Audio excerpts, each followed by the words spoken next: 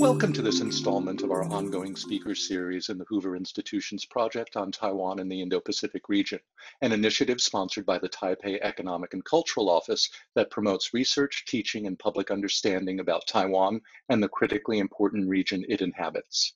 I am Glenn Tiffert, a visiting fellow at the Hoover Institution, and I manage the project under the leadership of my colleague Larry Diamond. It is my great pleasure to introduce our speaker today, Dr. Dafydd Fell. Dr. Fell is a force in the field of Taiwan studies. He is Reader in Comparative Politics at the Department of Politics and International Studies of the School of Oriental and African Studies, SOAS University of London, and Director of its world-renowned Center of Taiwan Studies. In 2004, he helped establish the European Association of Taiwan Studies. Dr. Fell is an expert on Taiwan's domestic politics and has published widely in that area. His first book, Party Politics in Taiwan, examined party change in the first 15 years of multi-party politics. His second book, Government and Politics in Taiwan, was recently revised in a second edition in 2018. He has also edited volumes on migration to and from Taiwan and on how the field of Taiwan studies has evolved. His current research focuses on Taiwan's movement parties, and that is what he will be discussing today. Before turning to Dr. Fell, I'd like to direct your attention to the Q&A button at the bottom of your windows. When the question and answer portion of our program begins, you'll be asked to submit your questions by clicking on it. Without further delay, I present Dr. Dafydd Fell.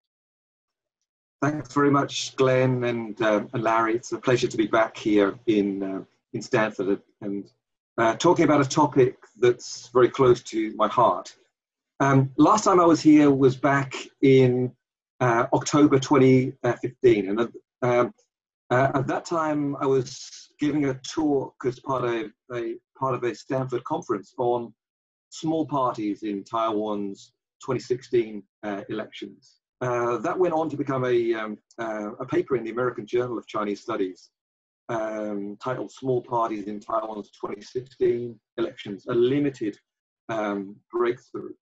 So what I wanted to do today was to um, build on um, uh, that talk that I did um, uh, almost five years ago, but take a slightly more uh, narrow focus, um, a focus particularly on one type of small parties and how they've developed over the last decade or so.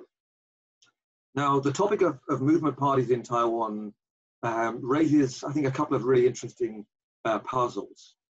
Um, firstly, um, why do we see movement parties finally becoming serious players in Taiwan's party system after decades of being almost irrelevant actors in the, in the party uh, system?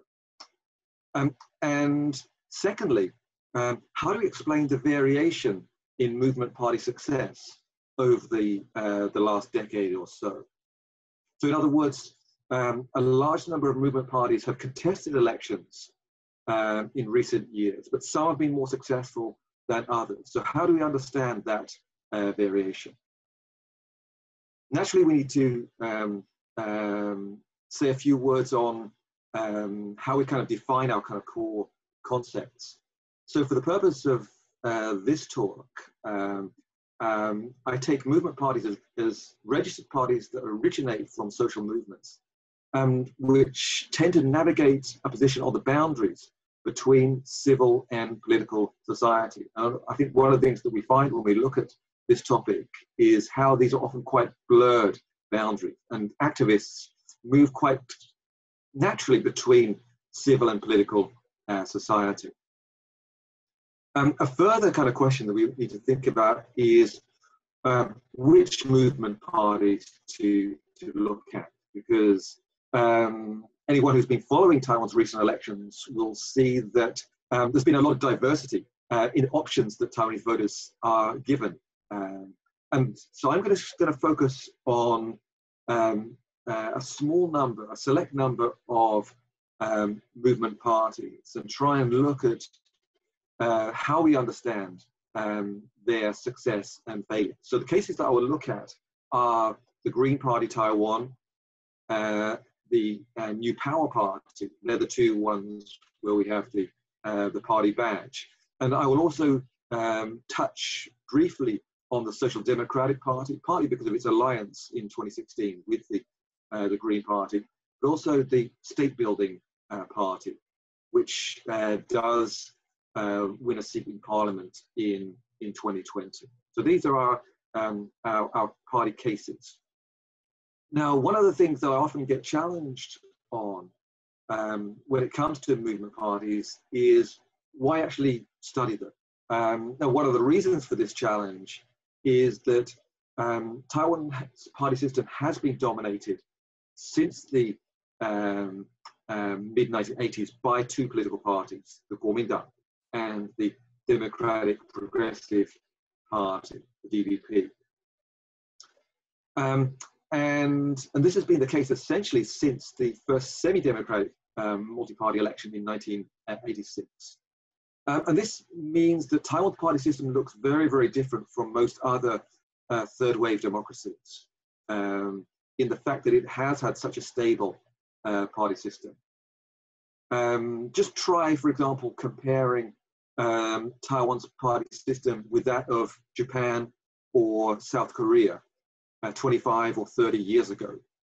Um, and what you'll find in those cases is a huge amount of change. Many of the actors that we saw in the Japanese or the Korean party system um, have either ceased to exist or have become irrelevant. Or, um, but that's not the case in, in Taiwan. So why uh, focus on movement parties in Taiwan? Well, I think that um, uh, often when people are, um, are looking at their justification for their research projects, often there's a personal side. And I think for, uh, for me, I think it was the fact that my first elections in Taiwan, first as a student and then as a teacher in Taiwan, um, featured uh, a number of um, movement parties, particularly leftist, um, um, um social democratic parties. Um, and was, we could see an example of this, this picture from a uh, Workers' Party um, a candidate from, I think, from 1992. However, these leftist um, movement parties um, were failures. Um, now, a further reason that kind of got me interested in this topic of small parties in, in Taiwan was coming out of my first book that Glenn mentioned that came out of my PhD, Party Politics in, in Taiwan. And I looked at three, the three major political parties from the 1990s, the KMT, DPP, and the, the New Party. And the New Party um, was the first third party to enter Taiwan's party system. Um, and what I found really fascinating, particularly in the, um, the latter period um, of the analysis, in the late 90s, was how the new party was taking very irrational um, strategies. So why would a party take um, positions and use appeals that seem to um, um, be going against the political market. And that's, that's kind of led me to think about small parties. And I, and I started to publish on small parties um, in 2005. Now, we can think about the development of small parties in the Taiwanese party system going through a number of the first phase I've mentioned, the failed mainly leftist parties, we have a period, we have two periods when splinter parties um, are quite successful. And what I mean by splinter parties are parties that split away from the two mainstream parties. Firstly, in the um, mid 1990s, and then in the period between 2000 and 2005. In the fourth phase, what we see is a virtual collapse of the small parties. Um, I think this the, the classic example of this is 2008, when the small parties basically disappear from Taiwan's national parliament. We see a limited revival in uh, 2012 when the splinter part, two of the splinter parties do return to parliament. Um, and then in the most recent phase, which I think we can date from around 2014, we see a gradual um, uh, disappearance or demise of the splinter parties um, and a rise of movement parties. So finally, movement parties uh, become um, relevant actors in the Taiwanese party system. So just to simplify this, this uh, process, at least until 2014, it tended to be these purifier or splinter parties uh, that were um, more successful. And that trend changes after uh, 2014.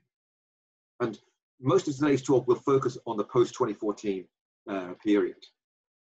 And we can kind of um, get a sense of these trends by this, uh, this table here. And, and, to make it easier to follow, I've um, put the splinter parties in red and the um, uh, movement or alternative parties in blue. And you can see how um, the splinter parties are pretty successful um, in the mid 90s through until uh, 2005, while the movement parties are essentially um, uh, irrelevant. But that changes in the um, period after 2012, 2014, 2016, most recently uh, 2020. Uh, um, now, I think another reason that I have to uh, mention is that um, I've been working on a book project on Taiwan's Green Party uh, since late 2012. Um, and for me, it's been a really fascinating process uh, working with politicians and activists um, who have a very, very different uh, worldview compared to those mainstream party politicians that I spent um, um, um focusing on for my first book, Party Politics, uh, in, in Taiwan. So this was um, a fascinating process um, uh, for me. So I will tend to talk a little bit more about the Green Party when I do the, uh, the case uh, analysis. And I think another reason why I wanted to do this, this talk was to give me a chance to think about the most recent elections in 2020, because I still haven't yet written the uh, chapter that covers 2020. Uh, so I'm looking forward to getting some feedback um, whether I've got my analysis right for um, uh, for 2020. Um, now, I think there's also a number of um, uh, academic reasons why I think this topic is really interesting and important. Um, generally, uh, movement parties play an important role in representing both issues and also sectors of society that tend to get neglected by mainstream parties. So I would argue that, that movement parties do have an important role in enriching the quality um, of democracy. And I think one of the things that we found in the Taiwan case was that um, the huge wave of social movements that we saw in the aftermath of 2008, um, uh, that we tend to associate with the, um, uh, the particularly with the sunflower movement, um, was partly caused by a uh, perceived failure uh, of mainstream parties. There was a lot of alienation in society and distrust of mainstream uh, parties. And I think one of the things that we, we see is that these movement parties have played a really important role in putting neglected issues onto the political agenda. For example, uh, LGBT uh, rights, environmental protection, labor rights, animal welfare. These are all things that um, have really come onto the agenda in the last few years. And I think movement parties have played a really important role um, in that uh, process. We can also see the way that movement parties um, have been quite influential um, on some of the mainstream parties, particularly the, uh, the DPP. So, for example, uh, we, we've seen the way that the DPP has um, um, adopted policies such as same-sex marriage. And I think one of the reasons has been this threat coming from um, these smaller alternative parties. Another way we can see the um, the threat that these parties pose to mainstream parties um, is in the way that they often will try to poach um, politicians or leaders from movement parties. Um, and one such example is uh, Fan Yun, who we see in the slide uh, here, who had been the key figure in the Social Democratic uh, Party, but was recruited into uh, the DPP in 2020. And we, I think we also see this in terms of social movement leaders, such as Lin Pei, for example, is another case that was also recruited um, into the um, uh, the DPP. So this, although this this kind of poaching can um, undermine movement parties, it also can change the nature of mainstream parties, particularly the, uh, the DPP. So there's a number of, of ways that political science has tried to explain the um, fortunes of, of small parties. I think we can think about a number of kind of classic theoretical uh, approaches. Uh, a first one is what is sometimes called the sociological approach, um, and that tries to link uh, niche party success to the saliency um, of um, core issues. Um, for example, Green Party success is often linked to uh, levels of environmental consciousness. Um, the uh, support of far right parties is often linked to uh, things such as levels of immigration or unemployment, for example. Um, another uh, classic approach is institutional. And here the, um, uh, the key focus is on electoral systems. So simply put, um, it's argued that there's greater space for small parties in more proportional uh, electoral uh, systems uh, and much less space in uh, single member district or first past the post based electoral systems. Um, how useful are these approaches for the, uh, the Taiwan case? Um, well, they can help a little bit, but they can't tell us the whole story. Um, for example, um, if we think about the sociological approach, um, changes in um, social values such as environmental consciousness, uh, growing um, acceptance of LGBT rights have created space uh, for alternative parties. But that can't tell us what, um, why we see variation in small party fortunes, why certain small parties are more um, uh, successful.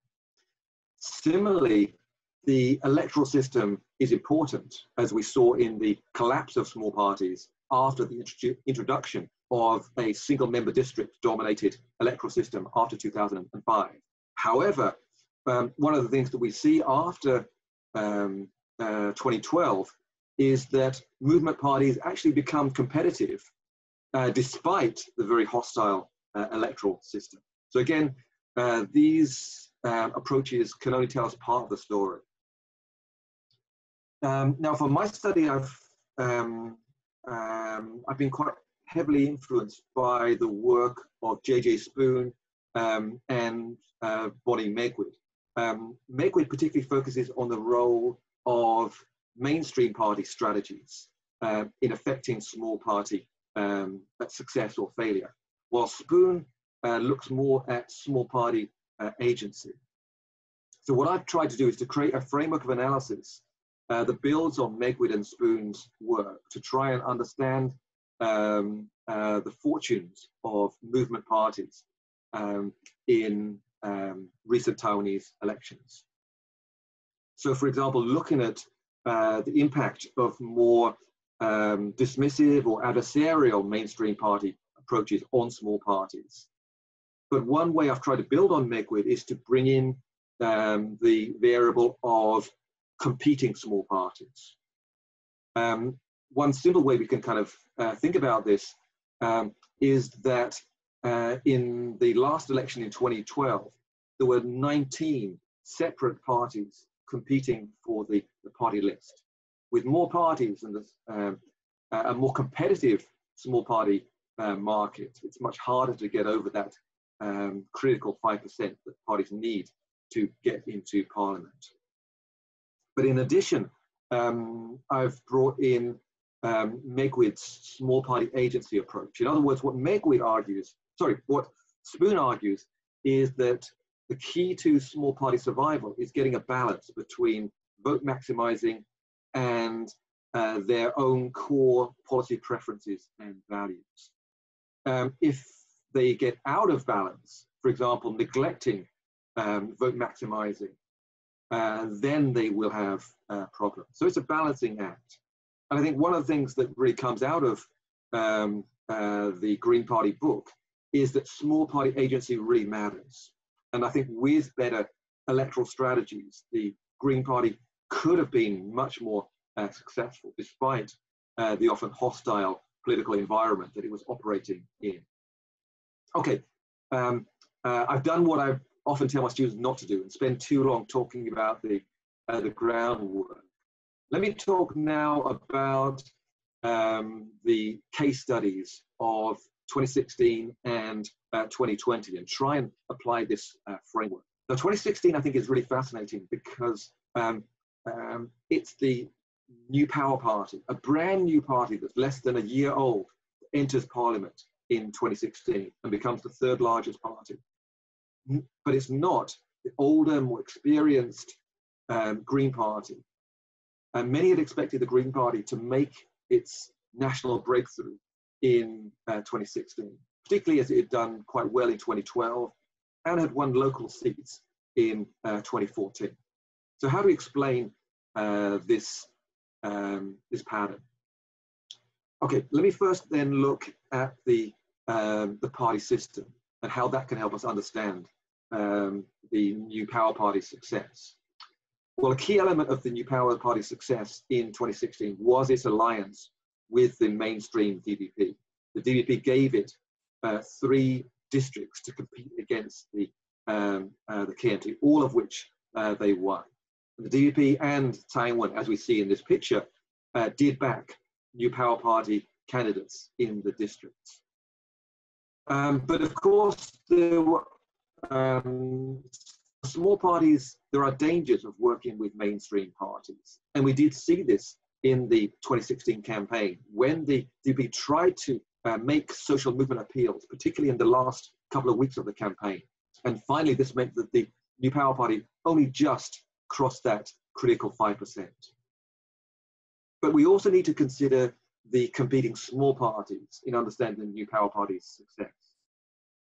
Clearly, the party benefited from a declining Taiwan Solidarity Union and from competing against the divided and slightly disorganized uh, Green Party.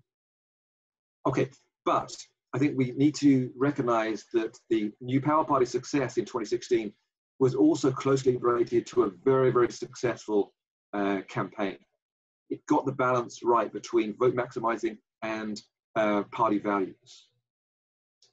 For example, it ran a very well resourced campaign in terms of human resources and also financial resources. It focused its resources very um, uh, clearly on those three key target uh, districts. Of course, none of those were safe um, DPP districts, so it did need to run campaigns. It also had very effective um, internet and political communications campaign, very um, powerful rallies, and it got a lot more media attention than the uh, competing small parties.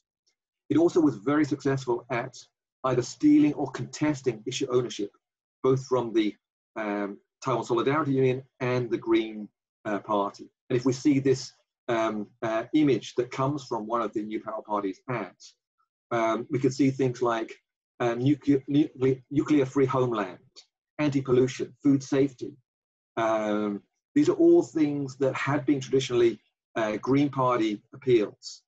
Um, same-sex marriage also appears in this uh, in this act, But um, this meant that the New Power Party had both mainstream and also alternative appeals. So I called it a hybrid party um, in 2016. Okay, next, what about the Green Party? What was wrong with um, uh, their uh, election campaign? Well, firstly, um, the party suffered from DPP strategies. The DPP's movement appeals did hit the um, uh, Green Party Social Democratic Party alliance. We can see that in uh, this uh, ad here. Um, it also didn't offer the Green Party uh, any seats to contest against the um, the KMT, with the exception of the Social Democratic Party Fan Yun's, one seat, uh, sorry, one district.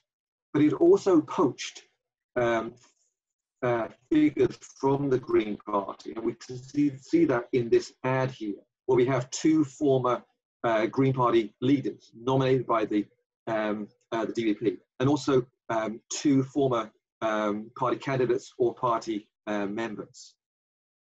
Um, and then finally, um, the Green Party suffered from competing small parties, particularly the challenges of the New Power Party, uh, so a um, competitive rival movement party, and the Green Party itself was also damaged by its own internal split with the creation of the Trees Party. Okay, so the party system definitely undermined the Green Party in 2016, but um, a, a lot of the problems for the Green Party in 2016 can be put down to problems in the campaign. Uh, so, for example, um, it was unwilling or unable to work with other parties, such as the New Power Party or the DPP. Probably, if it had had a better strategy, it could have um, had uh, a couple of districts to contest directly against the, KMT. Uh, secondly, even though it was working in alliance with the SDP, it had a very, very poor relationship. Um, and much of the party's efforts were wasted in infighting between the, uh, the two sides, particularly over uh, Fan Yun's district. The party also had strategic problems in neglecting the single member districts and just focusing solely on the uh, party list. Uh, the party was also um, uh, suffered from infighting and uh, divisions. Um, although it was better resourced than in 2012, uh, it was still far behind both the splinter parties and the New Power Party. Um, and lastly, it had very serious problems in terms of the way that its uh, organization was uh, working. So, for example, it really struggled to um, uh, cope with the uh, Tzuyu uh, incident just before the uh, election. Okay, so let me move on to my second election case study, and that's the most recent national elections in January of 2020. So here the picture is a little bit different. Um, this time we have two mo movement parties winning seats, the New Power Party and also the, uh, the brand new, um, or the um, uh, State Building Party. Um, what is interesting here is that um, the New Power Party manages to survive a number of crises. It has, but still stays in Parliament and even actually increases its vote share uh, to almost 8%. Uh, the, the second movement party that enters Parliament in 2020 is the State Building Party. Um, and this is actually not a brand new party because it had contested um, 2014 when it was still independent, 2016 with the TSU, and 2018 uh, in local elections. Um, so it's learned from some of its previous failures and managed to win one seat in 2020 uh, and also get 3.1% uh, on the uh, party list. In contrast, the Green Party um, got almost exactly the same uh, vote share as 2016. Uh, it won more votes, but was, but again was only halfway uh, to reaching that uh, critical five percent to win party list party list seats. Okay, so how do we explain uh, the patterns that we see um, in 2020? Let me start with the New Power Party. Um, well, firstly, the party system mattered. Uh, the New Power Party broke its alliance with the, uh, the DPP. Um, and even though the DPP did support the two um, independent, no longer giving seats to the New Power Party to contest against the KMT. However, there were also opportunities. So, for example, in 2020, the DPP had a much weaker social movement appeal compared to uh, 2016. Um, perhaps more challenging for the New Power Party in 2020 was the fact that um, there was much greater competition among small parties. Uh, the uh, Taiwan People's Party had been established by Taipei Mayor Ko Wen-je. The State Building Party was also uh, making movement appeals. And of course, we also had the uh, Green Party running a well-funded uh, campaign. Um, but again, I think we need to look at the uh, the New Power Party's own campaign to understand its ability to uh, increase its uh, vote share in 2020. I think there's a number of um, areas that can help explain uh, these developments. Well, firstly, I think the party was quite successful at building a party identity as distinct from the DPP. Uh, it also was building up an organizational base, uh, particularly in the aftermath of the 2018 local elections, where it, actually, where it did actually win a significant number of local seats. So it, became, it becomes more visible uh, on the ground. It also was quite successful at broadening its uh, sunflower kind of social movement image in terms of its nomination in 2020. Uh, I think a good example of this was the nomination of the senior environmentalist, uh, Chen Jiaohua. Um, again, it had a well-resourced campaign, both financially and, and in terms of human resources. Um, and this enabled it to do what often small parties struggle to do, and that is to uh, win re-election. Often small parties will win their first election and then fail to win re-election. Okay, next let me just talk briefly about the state building uh, party uh, case. What is quite interesting about this case is that it followed a similar strategy to the New Power Party in uh, 2016. In other words, it worked in alliance with uh, the DPP. Uh, the DPP gave it one seat to contest um, against the, uh, the However, this was also a very um, a difficult seat to win. So it needed to rely on a strong uh, state building party campaign. So it made heavy internet campaigning. It was also well resourced, well resourced, and a very focused campaign. And it also benefited from uh, the salience of, for example, the Hong Kong protest um, issue. And also, like the um, New Power Party, uh, it was able to broaden its uh, image in the past, it had suffered from an image of being um, a, a, largely male-dominated and uh, party. So I think, for example, nominating the well-known uh, feminist scholar uh, Chen Fang, I think, helped to broaden the party's image. And um, and overall, it looked quite a successful campaign. I think many um, activists that had pr- previously supported uh, the Green Party did switch over uh, to the state building party in 2020. Okay, now finally, um, what about the Green Party in uh, 2020? Well, let me start again with the party system uh, factors. Um, there were opportunities uh, posed by the less social movement uh, focused DPP.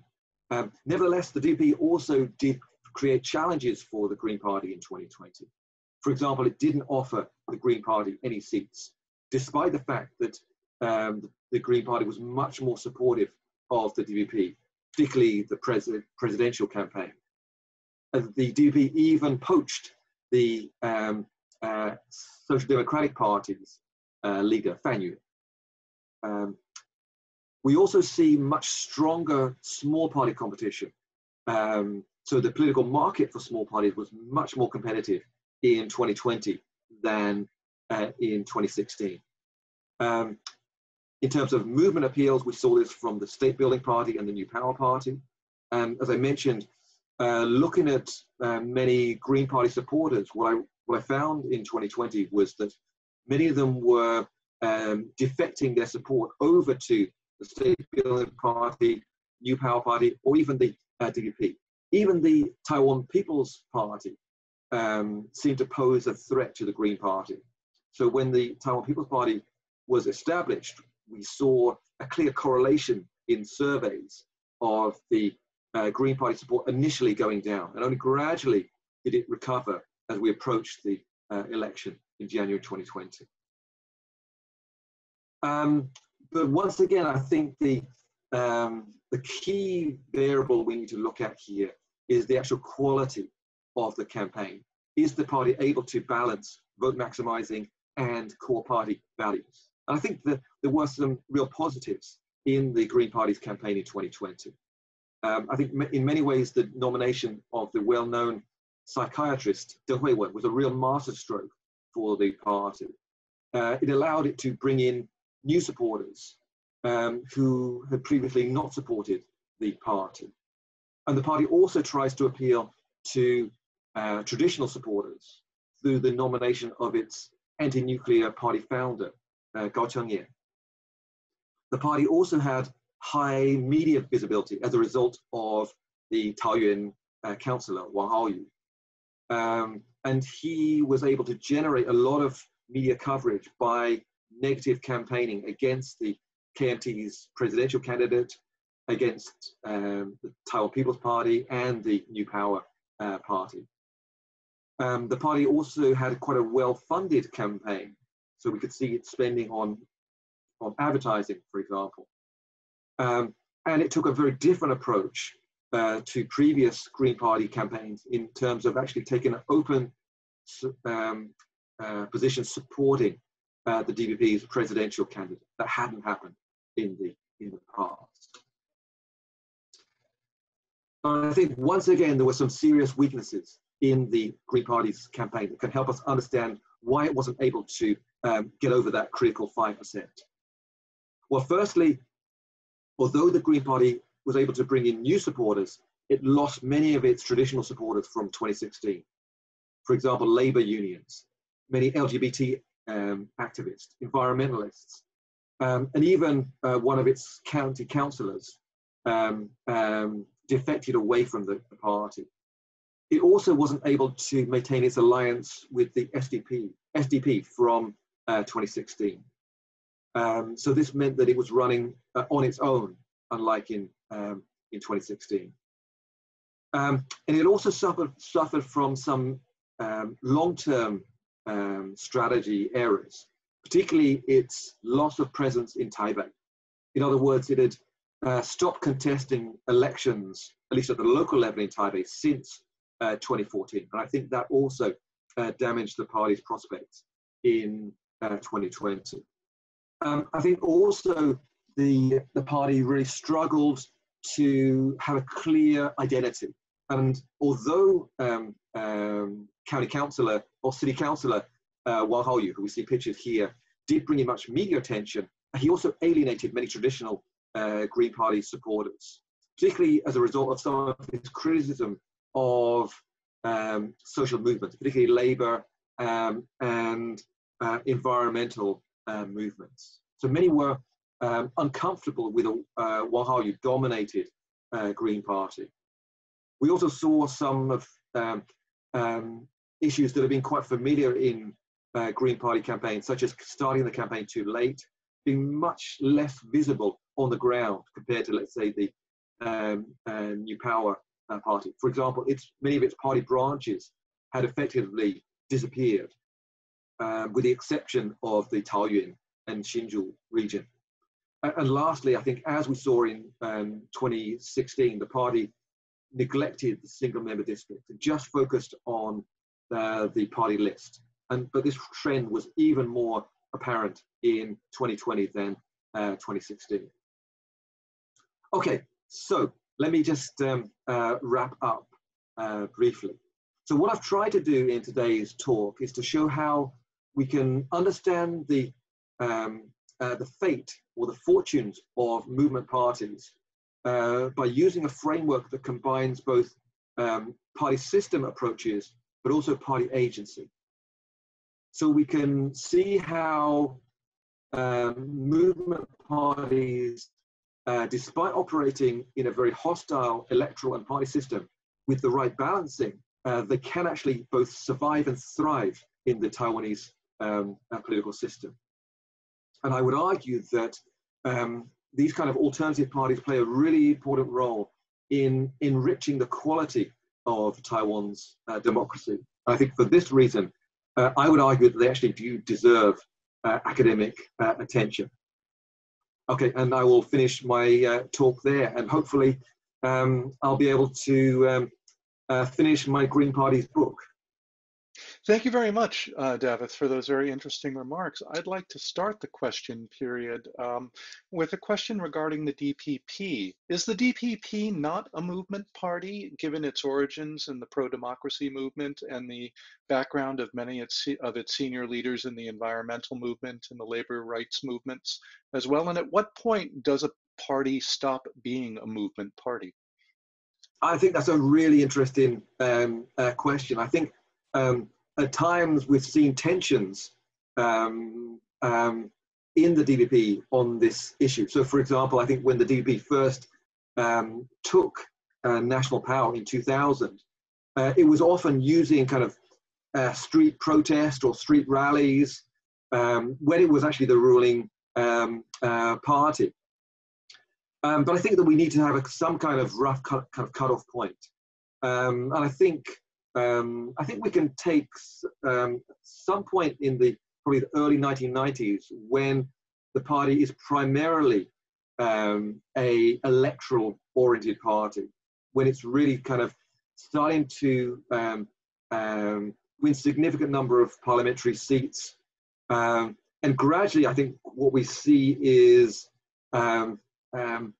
the movement side of the party becomes secondary. Uh, of course, there is always um, uh, an interaction with uh, social movements. So I think um, uh, we do see that a lot of DPP figures um, first emerge from social movements. Um, and we see, for example, in the 1990s, the way the DPP does recruit from um, Wild Lily social student leaders, for example. Um, and um, and more recently, they are trying to they have been trying to recruit um, sunflower uh, figures. So um, um, so I do take your your um, uh, your point there, but I think I would take the cutoff point as being at uh, some point in the early 1990s, and maybe some would even go uh, earlier. But there's always that in, that really interesting relationship, and I think that we did see this um, accusation, for example, during the uh, the sunflower movement, that uh, the sunflowers were um, controlled by the DPP. But I think um, I think anyone who's looked in detail on that topic will actually find that wasn't the case.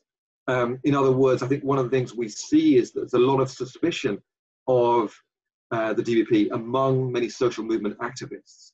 And that's one of the reasons why they've, they've actually um, been much more successful at making uh, movement parties viable or sustainable uh, over the last five, six years. Right, thank you. Uh, we have a question from Tom Gold, your colleague, about how movement parties are funded. Um, and do they face the risk of deregistration at any point? Uh, how long do they stay on the register? And I wonder if I could tag on a, a, minor addendum to that and ask if you could say something about the way the campaign finance system factors into the way movement parties um, are organized in the campaigns that they run. Yeah, I mean, it's a really great question. Um, um, I mean, when I think back to my um, a lot of my field work with um, uh, the uh, the Green Party. One of the things that's come up most often um, has been lack of money, struggling to pay the candidate deposits, knowing that they're not going to get that money back, um, borrowing money that they know they can't um, uh, return, um, laying off staff uh, after elections. So that's been a perpetual uh, problem for um, many movement parties. But I think one of the things that's really quite interesting is that um, both the New Power Party and also more recently the State Building Party, and to a lesser extent the, the Green Party, have actually managed to improve their, uh, their fundraising um, mechanisms. Um, and that's been one of the reasons why they've started to become um, uh, viable uh, challenges. Now, how do they get their, their money? I think is a really um, um, uh, tricky question. Membership is is a relatively um, minor uh, factor. Um, at times, it's they've relied quite heavily on a, on a, a small number of uh, generous uh, donors.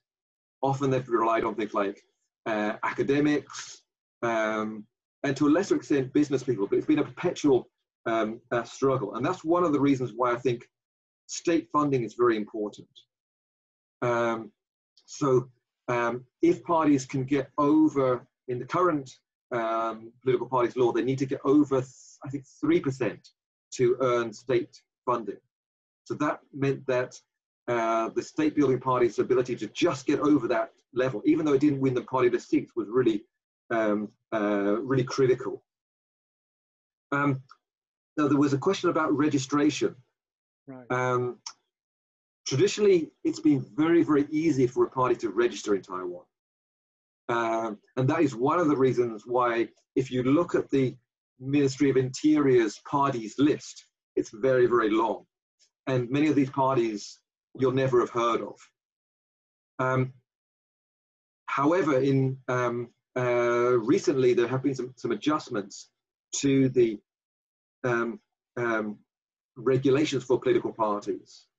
Um, and this has resulted in um, a pretty significant number of basically political parties on paper that don't really uh, operate being wound up. Um, but the process has been very, very slow. Let me just give you one example. Um, that is the, uh, the Chinese Social Democratic Party, which nominated quite extensively in 1991 and 1992, and then basically disappeared. Uh, some of its members joined, merged with the, um, uh, the new party. But basically, the party stopped functioning, um, what is that, 28 years ago. But the party was only wound up um, this year. So that, that kind of tells you uh, uh, something. And I think that um, um, um, we will see a reduction in the number of political parties, uh, or at least uh, parties that aren't operating um, anymore.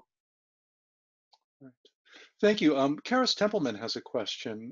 He notes that the DPP successfully grew out of its movement party roots and became a sort of catch-all major party. Um, he wonders what does the NPP or any other movement party need to do in order to achieve something similar and to stick around for the long run in the party system? Are there lessons to be drawn from the DPP's experience about making that transition? Yes, I think that's a, again a, a kind of a fascinating question. I can remember uh, back in um, uh, 2016, uh, there was quite a lot of talk um, optimistic talk in, in uh, among some of my friends in the DPP that uh, the new power party was going to replace the uh, the KMT as the second largest um, uh, political party. Uh, but when we come to the uh, the first round of elections um, after 2016 in 2018, the new power party did win. Maybe it was 15 or 16 local seats, which was significant for a movement party but in the big picture, um, it's, it's tiny compared to the um, uh, two or 300 seats that the mainstream parties were winning. And it's also uh, far less than the splinter parties were winning at the local level at their peak um, in 2000 and, um, 2002. So um, I think the new power party is doing many of the things that it should be doing. In other words, it's building up organizational basis. That's important. Having real party branches, uh, having national media visibility, um, gaining autonomy from the DP. It was a risky um, strategy to take, but I think it's a strategy that, that small parties have to do. Because I think one of the things that we've found time and again with small parties is that if they're too close to the mainstream parties, the mainstream parties can basically um, make limited concessions, uh, ideological concessions, and win back those supporters. So small parties need to develop their own distinct identities. And I think that's something that many of those splinter parties failed to do. And that's part of the reason why uh, they um, uh, collapsed. So I think there's a range of strategies that um, uh, small parties need to take. I think, of course, you can come back to funding I think funding um, both financial and human resources are really critical. Um, um, sometimes even human resources are more important than, than financial resources because they often come um, come together. But I think the New Power Party, its ability to survive um, a lot of challenges in its first couple of years, I think is is quite um, uh, impressive. Thank you. We have a question from a journalist who notes that um, at the two sessions meetings uh, in Beijing, um, Li Keqiang uh, removed the word peaceful from the PRC's policy of reunification from, with Taiwan. Uh, and the questioner wonders uh, if any Taiwan, if any of Taiwan's movement parties are, uh, are addressing the issue of independence and the relationship with the PRC. That's a fantastic question. And I think one of the reasons that's an interesting question is that traditionally the uh, small parties in Taiwan have been splinter parties. Um, and they've, um, their identity has been linked uh, to um, the unification versus independence um, uh, issue. Um, in other words, um, they are really focusing on the more radical wings of the, uh, the political spectrum in, uh, in Taiwan. Um, now, what about the movement parties? To a large extent, um, they've, um, their identity has been alternative. So they've tried not to stress uh, relations with China. They've tried to stress um, uh, social uh, issues. So they've often suffered when the agenda has been dominated by relations with China. And I think we saw that in 2016 when we had the uh, the Zhou Tzuyu um, um, incident, where a, uh, a Taiwanese K-pop star was forced to uh, make a public apology uh, for using waving the ROC um, uh, flag. Now, I think um, I think one of the reasons why um, the New Power Party and the State Building Party have managed to be relevant is they've managed to uh, have a, a, kind of a hybrid appeal. Uh, in other words, they've included both um, um, social issues, but also uh, they've been able to handle the China issue quite effectively. Um, so, for example, the New Power Party protested against the um, um, meeting between Ma Ying-jeou and Xi Jinping in uh, 2015. And I think the State Building Party is probably uh, more like, at times it feels more like a um, a splinter party at times, um, with a lot of uh, Taiwan independence um, uh, rhetoric. Um, the party that I focused on, the Green Party, has, has, has, also really has struggled with this issue, even though it has quite a clear-cut pro-independence uh, position. It's just not seen as being a, an independence um, party. So I think it's a uh, it's a challenge, and um, I think one of the lessons we see from recent elections is that small parties need to be uh, convincing on this issue, and they can't just rely on um, um, social issues. We have a question from Kharis Templeman regarding the role that personality still plays in Taiwanese politics. Um, he notes that the Taiwan People's Party did very well in the 2020 election without much of a platform at all. And he asks, is it a movement party since Ko Wen-je was originally backed by many of the Sunflower Movement activists, or is it more of a personality-driven enterprise? Uh, and does ideology or uh, does personality matter more than ideology or programmatic positions um, in a case like this, uh, for particularly for Taiwan voters who don't like the two major parties? Uh, are there still vehicles for personalities in, in the system? Yeah, I think that's again, it's a great, great question because we have had um, parties that did rely quite heavily on personalities. Say the um, uh, the People First Party, uh, and also the Taiwan Solidarity Union relying on Lee Teng-hui. Um, but they also had their uh, identity um, appeals uh, as part of the, uh, the package. So I think the emergence of this Taiwan People's Party is really um, one of the most interesting elements of um, 2020. Uh, Where do we fit it? Um, and I think you're right that initially um, um, Joe rode on that kind of sunflower uh, wave in um, in 2014. Um, but um, his kind of party identity has become much more blurred. Um, and I think that he has managed to appeal to um, a lot of voters who, who, as you say, just don't like the mainstream parties um, and are not really interested in um, the kind of identity appeals. Um, how viable this um, project is going to be is, I think, is another matter. I'm not really too sure. Um, polls seem to be suggesting that um, the support for the Taiwan People's Party has been in decline since uh, the elections in uh, in January. So it's going to be really interesting. Um, but I think um, you're right. The personalities matter. And I think that um, this has been one of the long-term problems with um, many of the movement parties in that they've neglected the importance of stars. Um, and I think that's um, something that the New Power Party uh, was successful at. In other words, it had some semi stars. Um, and that made it quite different from the traditional um, um, uh, movement parties. So at the moment, thinking about classifications, I guess I would probably put the Taiwan People's Party as a kind of personality vehicle. Um, I think some people have talked about it being a, a populist party, and I think that's also something um, that I think is, is, is debatable as well. I wonder if I could pose a, a follow-up question to that and, and ask if you could say something sociologically about the type of voter who joins movement parties in Taiwan, either as uh, or either as a candidate or an activist or or uh, a participant and how they differ from people who join mainstream parties in their preferences, backgrounds, political skills and resources, their motives? Um, yeah, that's a great question. It's something that's come up quite a lot um, in uh, in my research on the um, on the Green Party.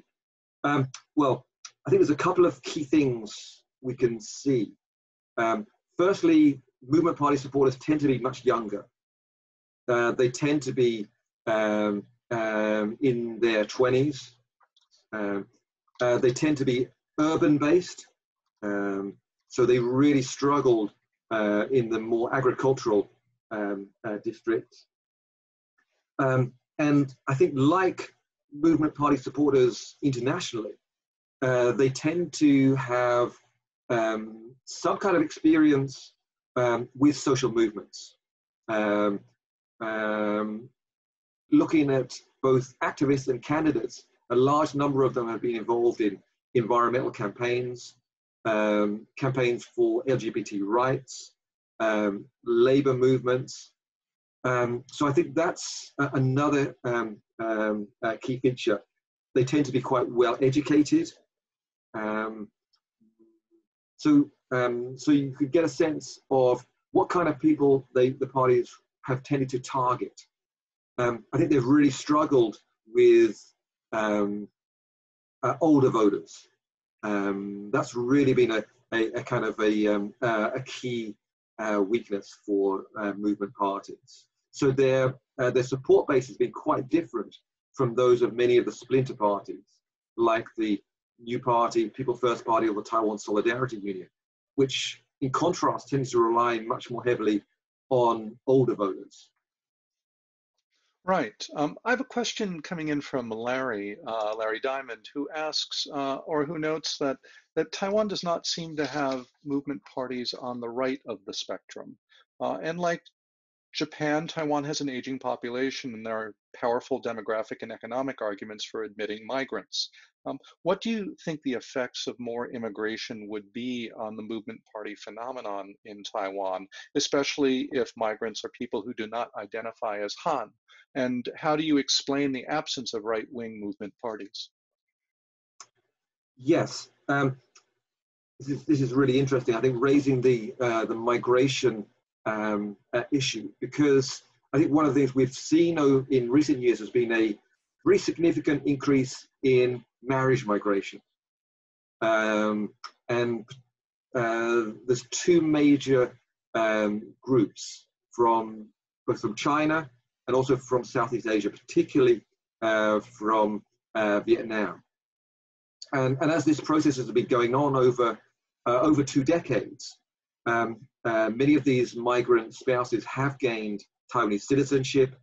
Uh, their children are increasingly old enough to actually uh, have uh, voting rights. So, where are these votes going to uh, go? I think that's, that's maybe a first thing to think about. Um, and what, I think what we've seen is the parties have gradually uh, understood the importance of these new constituencies. Um, and I think one of the things, for example, we saw in 2016 was that the DPP had Vietnamese election ads to try and appeal to these new um, uh, voters. Um, we haven't really yet seen what I would call um, relevant um, um, either far right parties. Um, and I think that's partly due to the type of migration we're seeing in Taiwan. in other words, we're seeing it's very, very gendered. I think something like 90% of these new citizens um, are female uh, and they're marrying Taiwanese uh, males. So they've been, in a way, integrated within um, uh, Taiwanese um, uh, society. Um, in some cases, um, particularly for Chinese spouses, um, uh, political parties have been established to push their interests, but they haven't yet become uh, electorally uh, viable. But they have worked quite closely with the KMT. Um, also, pro unification parties have tried to win their votes. So, for example, in 2016, um, a Chinese, um, a former Chinese citizen was nominated by the China Unification Promotion uh, Party on its party uh, list.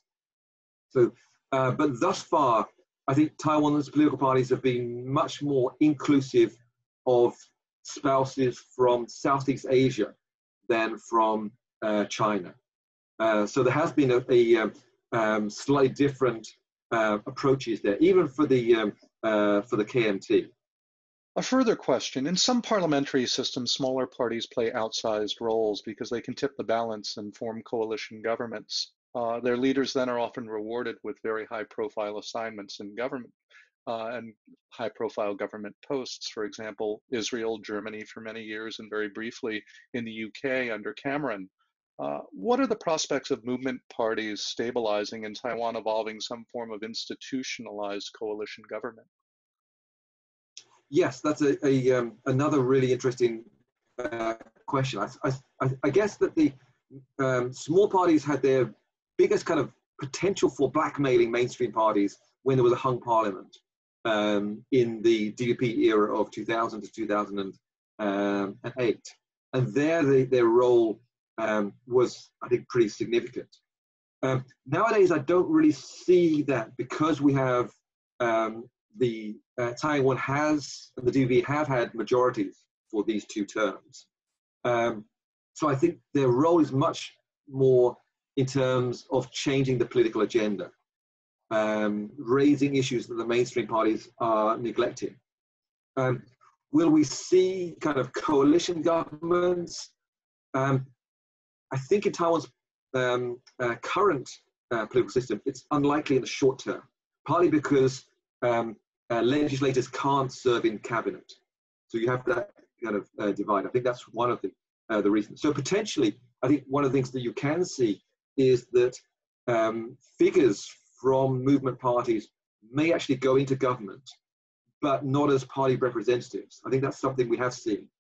So, for example, if we look at uh, Tsai Ing-wen's first um, term, uh, she did bring in um, a number of Green Party uh, figures into her cabinet. I think there was a deputy environmental minister um, entered the, the her first um, uh, cabinet who had stood for the uh, the Green Party.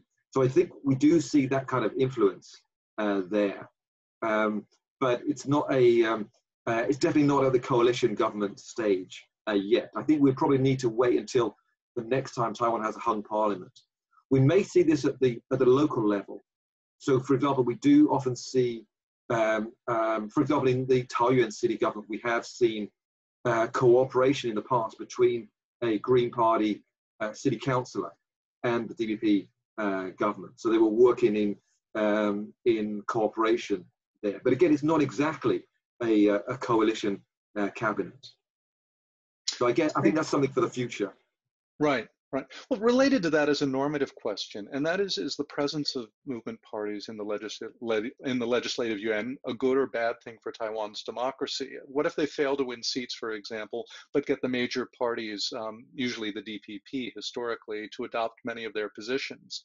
Um, what is to be gained by having them win seats if the mainstream parties are sufficiently responsive to their chief concerns? For example, same sex marriage, nuclear power, labor reforms, women's rights. Um, uh, what role do they play then uh, in the system?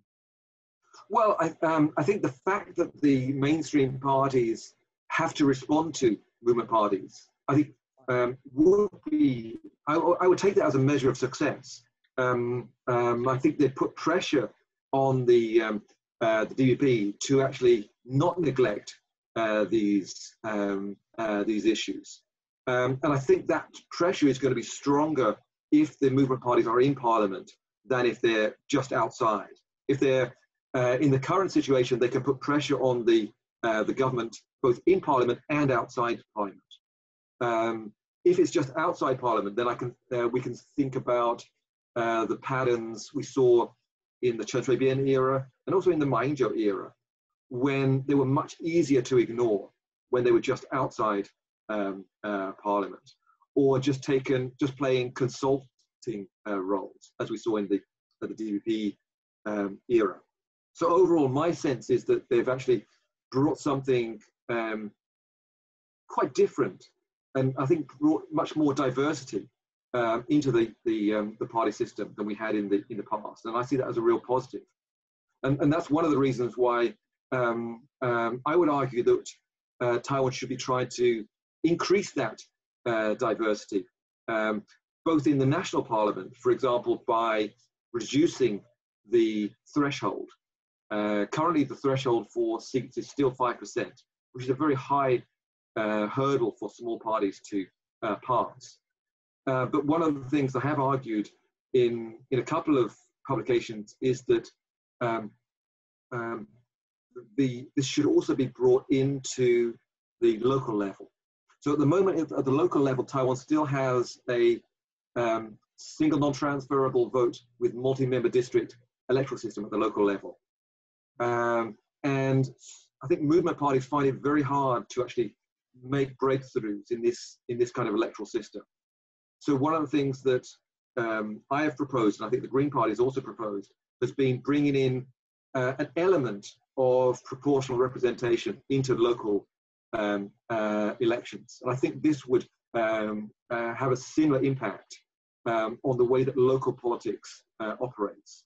So, um, um, and I know that um, uh, Tsai Ing-wen is a has sometimes come to to uh, Stanford. If, she, if she's watching, that is one of the things I would strongly encourage the DPP to do, just to, to bring in uh, proportional representation into local um, uh, government or local elections as part of its constitutional reform package.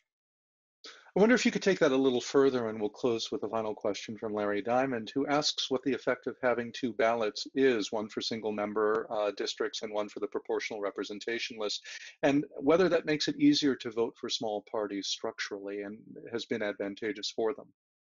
Um, yes, I think uh, initially, I think when the this uh, two vote system was first introduced in 2008, I think a lot of voters didn't really understand uh, what it meant and, and we saw a, a, collapse of small parties um, in that initial election. But I think voters have gradually got used to this idea of split ticket voting. Um, in other words, voting for the mainstream parties for the presidential and in most of the districts, but having that option of um, voting with the heart um, on the party list. Um, I think that's I think it's a pretty good thing uh, that it means that even if you're in a safe seat, a safe district, um, you know your, your party is going to lose, um, but you know that your party list vote will count for something. Um, again, I think that is um, uh, really important. I know, for example, in the UK, I'm very envious of um, uh, Taiwan's voters of having these um, uh, these options. I've always lived in safe conservative districts, uh, and my vote in the uh, UK Parliament has always been a wasted vote. Uh, and I think um, I, am pretty sure US voters would quite enjoy uh, having those two votes. Uh, so that even, for example, if you're in a very strong uh, Republican uh, district, that second vote would actually have some kind of a, an impact. I think it would definitely be quite um, encouraging and um, for voters, and maybe it would actually increase turnout uh, rates. So I think it's um, I think as voters have gradually got used to this system in Taiwan, I think they've really come to appreciate uh, it. Um, and um, I mean, of course, we do have the issue of having sometimes having too many choices in the Taiwanese elections. Uh, in 2016, I think there were 18 choices on the ballot. Um, and in 2020, there were 19. And many of these are quite meaningless, empty parties. Um, but I think voters see through that. I think if you look at the voting rates, um, most of those empty parties only got a very um, uh, tiny number of um, votes. Um, and also the, um, uh, we can also see how some of the more extreme parties also did very badly under this, this system. So it, it suggested that, uh, of course, one of the thing, reasons why um, in the UK we've been quite cautious about proportional representation has been the fear of extremist parties. Uh, but overall, my sense is that Taiwanese voters are actually quite rational and sophisticated and have been quite good at punishing uh, extremist parties. Thank you. Thank you very much for a fascinating discussion and a, and a very rich presentation. Um, I would like to invite all of our attendees to join our next event in the, in the Hoover Project on Taiwan and the Indo-Pacific region, which will be held on June 11th from 4 to 5.30 p.m. Pacific time. Uh, it is entitled First In, First Out, the Economic Impact of COVID-19 on Asian Economies, and will be given by Mr. Bert Hofman, who is the World Bank Country Director for China from 2014 to 2019, and the Chief Economist for the World Bank in East Asia and Pacific from 2011 to 2014. On behalf of the Hoover Institution and its project on Taiwan and the Indo-Pacific region, I thank you for joining us and look forward to seeing you next time. Goodbye.